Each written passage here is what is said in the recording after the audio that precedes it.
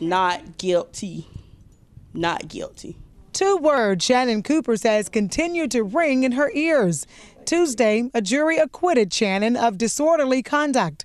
Florence police arrested her for cheering as her daughter Aisha walked across the stage to get her diploma from South Florence High School back in June. Then they make out that they didn't arrest me for cheering. It was because I was disorderly after the fact. But the truth came out about that. During her two day trial, Florence School District 1 administrators said parents were warned not to cheer or they would be escorted out.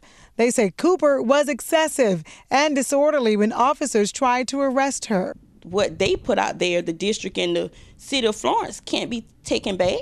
It's, it went national, it went all over the world. Like I was horrible.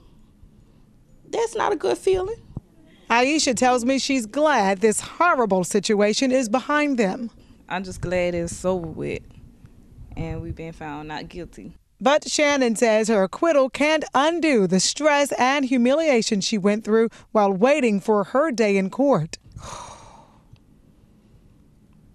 Trying to plan a wedding, thinking about the trial, still going through, you know, people seeing me and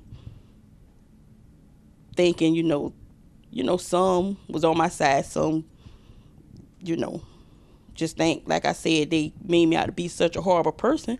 It it it was rough. It was rough, stressful, stressful, stressful.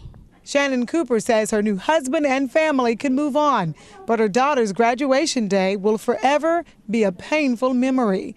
In Florence, Tanya Brown, News Channel 15.